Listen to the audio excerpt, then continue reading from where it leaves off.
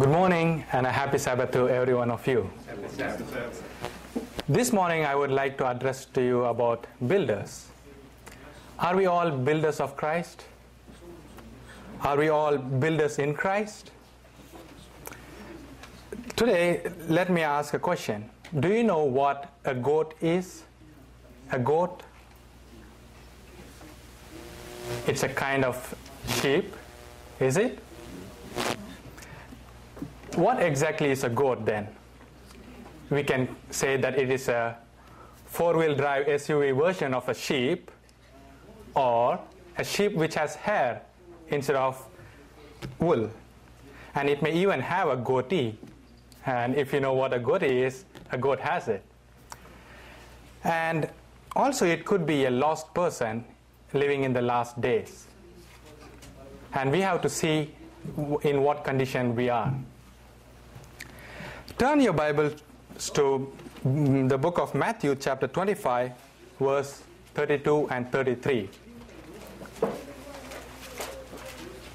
Matthew chapter 25, verse 32 and 33. When Jesus comes, he will separate the people one from another, as a shepherd separates the sheep from the goats. He will put the sheep on his right and the goats on his left. This is taken from Matthew chapter 25, verse 32 and 33. So the Lord knows the difference between a goat and a sheep. Does he? And that's why he is going to separate the sheep from the goat. What is the criteria by which God will separate the goat from the sheep? And if you see in the scripture, continue reading uh, in uh, chapter 25, you see that the sheep feed and clothe and even gave waters to others. And they were a very caring animal and they invited their visitors for lunch and they also went and visited one another they also went to the jail and visited the prisoners and whereas the goat stayed back home laying back in the couch in other ways in other words we can say that jesus sheep are very caring creatures they are very concerned about the welfare of other people. So they care for one another and also they uh, look into the needs of other people. Look at Matthew chapter 25, verse 40. Here it says, The king will reply, I tell you the truth, whatever you did for one of the least of these brothers of mine, you did for me. So, isn't this a very wonderful message that is given to us? If we help one of our brothers, then we are helping Jesus Christ. And when we, when we go out and help someone who is in need, are we helping the uh, person who is need, uh, in need of help? We are helping the person and also we are helping Jesus Christ. If we go over to the hospital and um, say some kind words to the person who is sick, how much console they'll be and how much uh, well they'll be feeling after that. And even a simple word is very beneficial. and if we also go and take some food to a person who is needy, how much thankful and grateful will the heart be? These are all small things that we may not think it to be a very big deal, but to the person who receives it, it's a very great blessing. In the great judgment day, we will not be rated by many things that we think is a very great achievement. We will not be judged by the number of Reformation Herald that we have read, or we may not be judged by how many times we have read our Sabbath Bible lessons very carefully. We will not be judged by how many times we came very early to the church, or what kind of responsibilities we held in the church. All these things are important in our life. But the judgment will be done by the act of kindness that we have done upon our fellow brother. This is the greatest criteria that will be used during the judgment day. By observing how we had been dealing with our uh, brethren or our friends is what is going to matter most. And by these actions, God can tell us how much we are like Jesus Christ by the actions we do. And also how we treat our neighbors. That's also a very important aspect. We can say that there is much more greater blessing in a cold drink of water than in a whole evangelistic um, meeting. In the 33 years of Jesus Christ that he lived, we can see that he has devoted his life into seeing what his uh, neighbors or his friends needed and tending to the need of his uh, fellow brethren. We also need to do the same kind of thing, looking into the need of our friends. We can say that many of us are builders. Yes, we are. But we have to see what kind of builders we are. Are we trying to build our own self or are we helping others to build them? And we are also sometimes trying to build ourselves by trying to break down someone else. Whether we like it or not, this is the fact. We figure out that if we can throw enough mud on someone else, we can say that we are much cleaner. And is that how we are supposed to be? No. And we cannot do that, and we are not supposed to criticize or point the mistakes of others. Amen. In the Bible, it is said that we, we point to the small speck that is in someone else's eye, whereas we have a huge log in our eye. So we have to see that how our condition is, and then try to rectify our differences or difficulties and help others to be like Christ, not like us. In, uh, in the Bible, in 1 Thessalonians chapter 5, verse 11, it says that, Therefore encourage one another and build each other up. That's what the Bible says. We are supposed to help to build one another. It's, we can call these things as if we are in a construction business we are helping someone to build their character or to build their um, thoughts in Jesus Christ. We are not in a radio business or in a mission shop business or in a janitorial business, but we are in a business where we create someone to be like Jesus Christ. We are the builders who construct people, and that's what we are. The Bible sanctions and compliments whatever we do, but we should never tear down someone just because of that, not even our family. And we are also not to criticize anybody else. That's also a very important thought.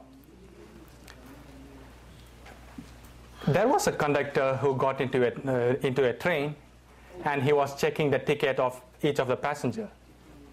And as he was checking each and every one's ticket, and after he uh, checked everyone's, he, uh, he tries to catch everyone's attention, and he says, okay, all the passengers have to listen to me. All of you have got a wrong ticket, and you are in the wrong train. So the next stop, all of you have to get down. And all the passengers had a very puzzled look you know, on their face well, if one or two made a mistake, then that's okay. We can say, okay, something, somehow they made a mistake and they got uh, into the wrong train. But you know what was the actual reality? The conductor himself was on the wrong train. he was supposed to be in, in another train, and thinking that that was the train that he had got into, he says, everyone else that you are in the wrong train. And this, the condition many times, we try to say that someone else is wrong, whereas we are in the wrong position. We have to think very carefully before we criticize, even though we are not supposed to criticize. I think that it is really high time that we stop hurting people or criticizing other people. We don't know when we criticize or when a small word is going to hurt someone else. But if you put yourself in that person's condition, you will know how much it hurts. Amen. if at all we like to be like Jesus Christ, a builder of people, we have to stop all the bad things that we do, knowingly or unknowingly. Sometimes we can say that, oh, my neighbor doesn't deserve to be loved by me, or my friend doesn't deserve to be um, to have a comforting word from me. But have you ever thought of it this way? Do we deserve to be lo- loved the way that Jesus Christ had loved us? And still, did Jesus Christ love us? And He gave the biggest sacrifice that can be given for all of us, for even the worst sinner. Sometimes we see that we, uh, we act as though we are on a diet of green persimmons. Have you ever tried green persimmon? Is it does it taste too good? So the same way, the actions or our words are so bad to others, and it, uh, people may think that something is really wrong with us. And this is a kind of thing that we have to be really careful of. We can actually go around trying to pick up the fault of each and every person around us. And we can also talk about the darkness that is around us. So, for this, what we are supposed to do is we can carry a candle around us to show the light for others. But at the same time, can we just go on and keep complaining about the darkness that is around us? We cannot bring darkness anywhere, but we can drive out darkness by bringing in light. And this is what we are supposed to do. Amen. Every single act of kindness, every single word that we utter, if it touches someone else, is going to be a very great blessing to us and to the person who we come in contact with. Amen. Sister Ellen White says that Jesus came to the world to be a reconstructor of character, building and transforming the character of people by his divine power. He was in a remodeling business. He was remodeling people's character, their way of life, and their actions. And people may like this or they may not like this, but whether they like it or not, it is our duty to help them bring closer to Jesus Christ. Jesus Christ would have us to be a reward that the glories of heaven bestowed upon the overcomers. And it will be proportionate to the degree in which they have been represented the character of Christ to the world. So we have to see how we can represent Jesus Christ in this world and walk according to that. Jesus Christ was a builder of people, and so are his sheep. We are also builders of people.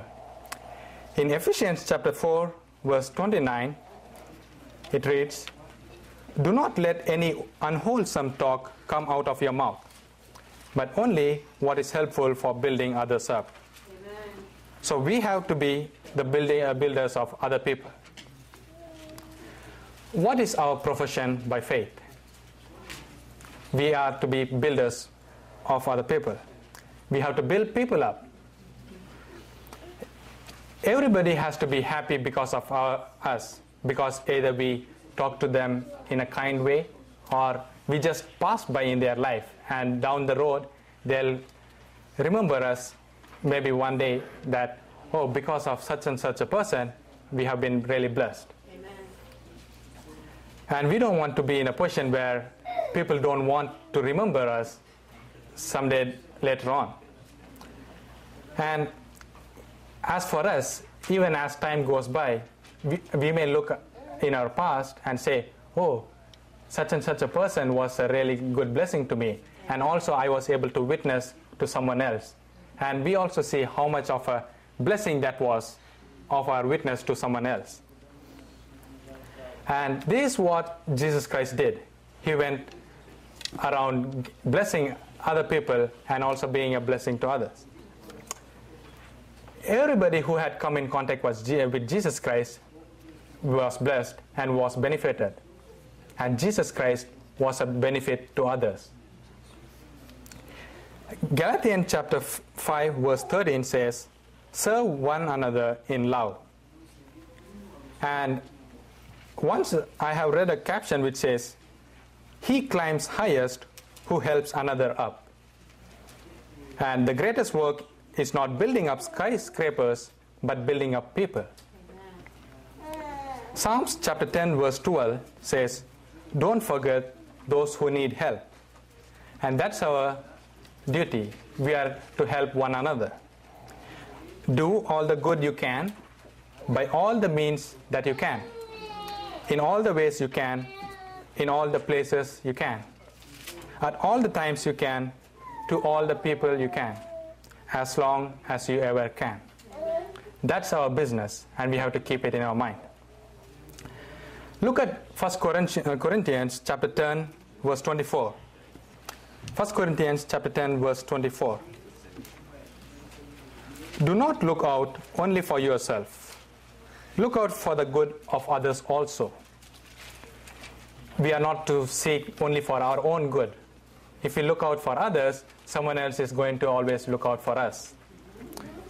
And this is a very great principle of the Christian life we look out for one another and we are a very strong and healthy Christian family.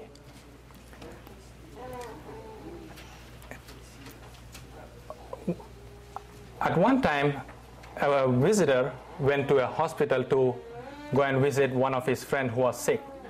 And as he was waiting, he saw the nurse was cleaning one of the patients there.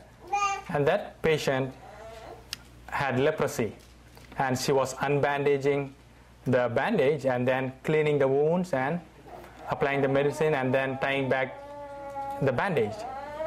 The visitor who was sitting there and noticing what the nurse was doing was not so comfortable with that. And he told her, I wouldn't do that for a million dollars. And uh, you know what the nurse answered? Neither would I. But I would do that for Jesus Christ for nothing. Amen. And you see how each person's words make a lot of difference. One person doesn't do that even for a million dollars, and the other would care just for nothing for Jesus Christ. True Christians are not in the demolition business. We are not there to demolish or to break down someone else. We are in the construction business. I think we have to show this kind of characters with whoever we come in contact with. And we have to show how much of Jesus Christ is in our life. That way, people will see whether we are a real Christian or not. Maybe we need to talk less about our own achievements and our own self, and we may learn to talk more about Jesus Christ and His love. There are a few things that we may not pay much attention to but it's a very important thing. We need to whine less and praise more. We have to hate less and love more. And we have to offer a word of kindness more than complaining. And sometimes it's better not to say anything than to say something that would hurt someone else or discourage someone else. A word of encouragement is a very big blessing in itself if you see those people who are practicing very hard for this sports event or for a very uh, big job that, that they are going to take into account. And if you just try to keep their uh, enthusiasm higher, you see how their perf- performance would be. And just consider if you utter a word of discouragement to a person, to a sportsman who's going to run a race, even though he knows that he has done really good, he would have a doubt on himself. So, whether we utter a word of encouragement or not, we are not to try to discourage someone else. A tired family had driven more than 600 miles to go to another place and they wanted to take some rest for the night. So they stopped by and they were looking for a place to take rest in a motel or an inn. And most of the places they found did not have any vacancy. So they finally drive into one more hotel, and then they go and ask to the receptionist, who was also the owner of the place, if there was any uh, place that they could use for the night. And he said, "Oh, we have been full since 6:30, and it was already more than nine o'clock." And he says, "But then I can help you find a place to stay." And instead of being a very rude man, he was a very good Christian man. And he made calls here and there and he tried to find out. And by the sixth call, he found a place to, uh, for those family to live. And the family was very grateful to this man. And they, they wanted to find a little bit more about this man, why he took the pains to help, uh, help them out. And he says, oh, if I wanted, I could have gone home at 6.30 itself when it was full. And that was the time that I need to close. But from 6.30 to this time, I have helped 30 people who had come in. And this is the kind of help that he would want to do unto others. And the 30 people who had been helped by him were very happy, and it was like a blessing to himself. Amen. Amen. And he also said he, he liked doing others a favor and helping others. And we have to see are we like this man? Are we happy to do others a favor? That's the kind of Christian that Jesus wants to call a Christian. And we also have to try to be the, the same kind of Christian. These kind of people would go the second mile and even would go the third mile. And if we want to be this kind of a Christian, we have to go the second, the third, or even the fourth if needed. Philippians chapter 2, verse 4 says, Each of you should look not only for your own interest, but also for the interest of others. And that's what Jesus did. And if we want to be like Jesus, we have to look for one another. Do we want to be like Jesus Christ? Do we want to be as he was with one another? Then we have also to go the second mile or more. In, in the SDA Bible commentary, it says, Jesus reached the heart of the people by going among them as one who desired their good. He met them at their daily vocations and manifested an interest in their secular affairs. His strong personal sympathy helped to win hearts. And this is what we are supposed to do. He lived to help people around him. And we also have to be helping one another.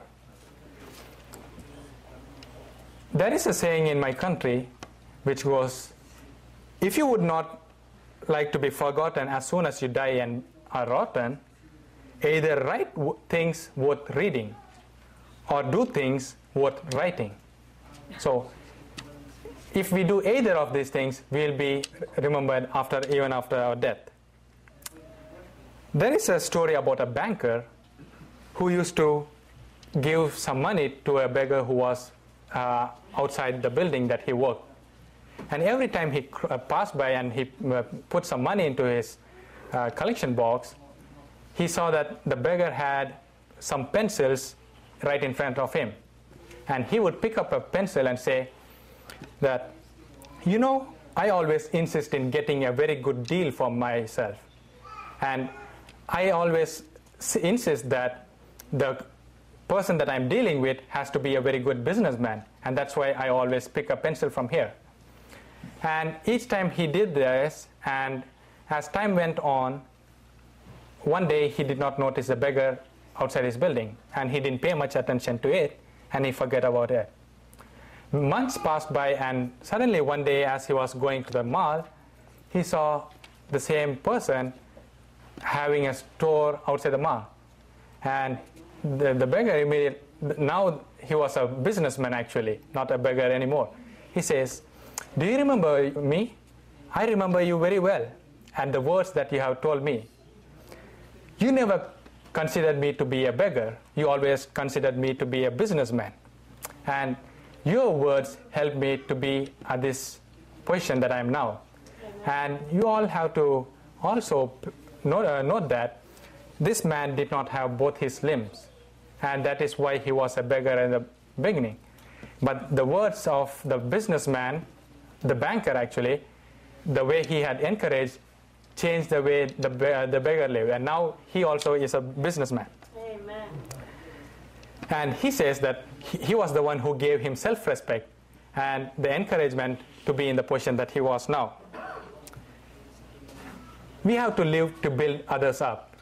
And we cannot love someone without helping them or offering a word of kindness to them. The strongest argument in favor of the gospel is a loving and loving Christian.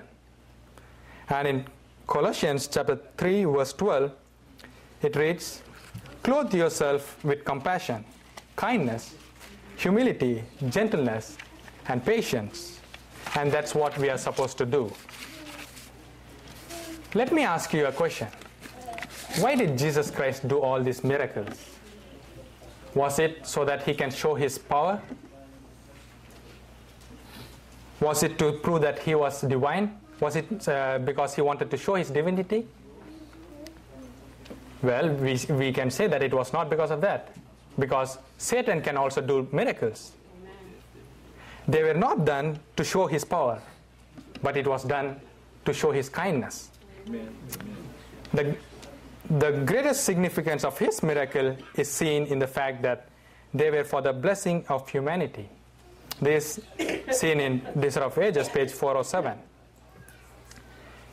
They were not done to help Jesus' own self. Kindness was the objective of Jesus Christ. And the miracle was just one method to show his kindness to others. Therefore, I would like to throw a thought upon this thing, and you could either accept it or you can say that that's not the fact. Kindness is greater than miracles. The power to be kind is greater. The devil can also do miracles, but the devil cannot be kind. Amen. And the highest evidence that Christ was divine was in the display of God's kind character. Such a life is the greatest of all miracles. John the Baptist's disciples one day went to Jesus Christ and asked him, John's, John wants us to ask you a question. Are you really the Messiah? So, what did Jesus answer? Did he answer that, Oh, yes, uh, I, am the, I am Jesus Christ, I am the Messiah? Did he say like that? No. His answer was very simple. He says, Stay with me Uh, and see what the actions that I do. See how many pupils are blessed. And then go and tell him what you see. Amen. And this is the thing that you can see in Matthew chapter 11, verse 2 to 6. If you go to and see the sequoia trees, which are really very tall, more than 300 feet tall, and they are really huge. Do you know what is the specialty of these trees? Even though they are very tall, they don't have a very complex root system. Their root doesn't go too deep. But then the, the specialty of this tree, the secret of this tree not falling off when there is a very heavy storm or very strong breeze is that they don't stand alone. They stand in groups and what happens is even though their root system is very shallow, the roots intertwine with one another's root and that is what helps them to keep very strong. Amen. And even though whether it's a very big storm or not, they are always standing strong. And do you know what will happen if they were to stand alone? The first time a very strong breeze comes, instead of standing vertical, they're going to be horizontal. That's how it's going to be. And this is the way that we are also supposed to be as Christians. We are to help one another in all the needs that they have. When we help one another, we are going to be uh, grounded and rooted very strong in the faith and in the church. We are supposed to help them in the difficult times and also partake of the blessings that they have when they are not in difficult times. And this is exactly why we are all in a church. And this is why Jesus Christ established a church to help one another. When we go home from the hospital after we have helped someone who was very sick, do we feel that, oh, uh, do we feel too much pity for the person who was sick, or do we feel encouraged that, oh, uh, because of our presence, the other person who, is, uh, who was in the hospital was feeling much better? We have to ponder upon such a small thoughts. Jesus looked to, if Jesus looked upon the help sup- on the human support when he was in the Garden of Gethsemane, how much more we are supposed to be dependent on one another of our fellow brethren when uh, we are in trouble. Did Jesus Christ really need the support of uh, his disciples at that time? He had the support of his Father from above and also the angels, but he also depended upon his disciples to pray more for him. And that, that's the same way we also have to be dependent on one another. We have to be also very alert for the opportunities that present itself for us to help one another. We should not wait for someone to go to the very lowest level where it would be very difficult for us to help. If we can nip something up in its bud, then it would be very easy. If someone needs a help, and if we can help him uh, instantly, how much of a blessing that would be. And just imagine how much that small help is going to be matter. In Galatians chapter 6 verse 2 it says carry each other's burden and in this way you will fulfill the law of Christ. And we have to be helping one another whether they need it or not. We have to see if they have some problem and then help them.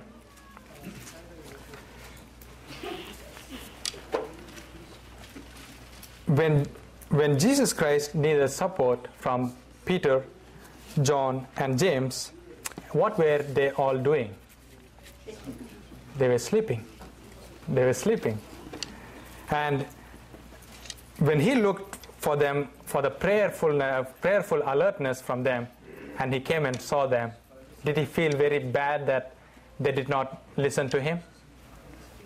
He was feeling sorry for them because even at that moment, if they were not able to keep themselves awake and they did not even realize the trouble that was going to come soon. And just imagine how much painful it must have been for him when he saw this and he saw all these people, all the disciples sleeping and they did not listen to him. And this happened in the moment of darkness. And that's why he wanted his disciples to pray for him and to pray for one another so that they may be strong. In history, if we read, Cyrus captured an Armenian prince and princess, and he had taken them captive to his place. And, the, and Cyrus asked the prince what he would do for his freedom. And the prince gave a very classic answer. He says, Well, as for my kingdom and my liberty, I value them not. But if my blood would redeem my princess, I would cheerfully give it to her. And Cyrus, hearing this reply, liberated both of them. And later on, when someone asked the princess, What do you think of the prince? And what do you think of Cyrus? Because he was the one who set them free. And she replied, I did not observe him. My whole attention was fixed upon the generous man who would have purchased my liberty with his life. He was an example of Jesus Christ. And Jesus Christ purchased our liberty with his life. In John chapter 15, verse 13, it reads Greater love has no man than this, that he lay down his life for his friends. John chapter 15, verse 13. Jesus proved that he was a Messiah by his work of love and kindness upon others, and also in the building of humanity. And at that time, it was not so easy. We may think that in olden times, people would not have had so much of uh, trouble preaching the gospel or talking about Jesus Christ to others. But if you see what had happened, like the flood, the flood that had come, and other destruction that had been done, we see even at that time there was so much of evil going around in the world, and it was equally difficult. And so at that time, it was a fallen humanity that Jesus Christ had to lift, lift up. In Matthew chapter 7, verse 20, it says, Thus by their fruit you shall recognize them. And by the act of showing kindness to one another, and also by the proof of love that we show on others, that is the proof, uh, proof of a true Christian. Jesus built furnitures and also other things when he was a small lad. And he built up people as a man. Jesus refused to Jesus refused to let the banquet crowd criticize Mary and her perfume. Jesus uplifted Zacchaeus. Jesus welcomed little children that were scorned by others. Jesus treated the woman caught in adultery with kindness. Jesus treats you and me with the equal amount of grace. Amen. Thank you, He was a builder. Can we also be a builder? In 1 John chapter 3 verse 14 and 16 we read that chapter 1 John chapter 3 verse 14 and 16 We know that we have passed from death to life because we love our brothers. Anyone who does not love remains in death. This is how we know what love is. Jesus Christ laid down his life for us, and we ought to lay down our life for our brothers. We have to be involved in helping one another. Let me show, uh, tell about a research that was done here. They did a study of more than 7,000 people, and the research came out uh, uh, with a result that if a person is an active member of a club or a church that is trying to help build people up, that person will live longer than if he is not a member of a church or a club. And in fact, he will have a de- death rate three times lower, uh, lower than that of the other. They concluded that the more we are involved with building up of people, the more longer we will live. In James chapter 1 verse 27, it says, Religion that God our Father accepts as pure and faultless is this to look after orphans and wi- widows in their distress and to help oneself from being polluted by the world. And we are here to continue the work of Jesus Christ. Let us build our brothers and sisters in this, in this world in Christ. Let us help our neighbors when they have the opportunity. Let us show them the love of Jesus Christ. And I will tell you that a church which is not reaching out to others is really passing out. We need to do the work of Jesus Christ in this world when it is needed. And if we don't do it now, it's going to be too late to do anything.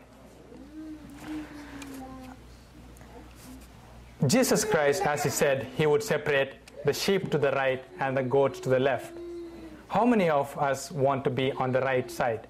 How many of us want to be with the sheep or with the goat? We all want to be with the sheep. I also want to be one with the sheep.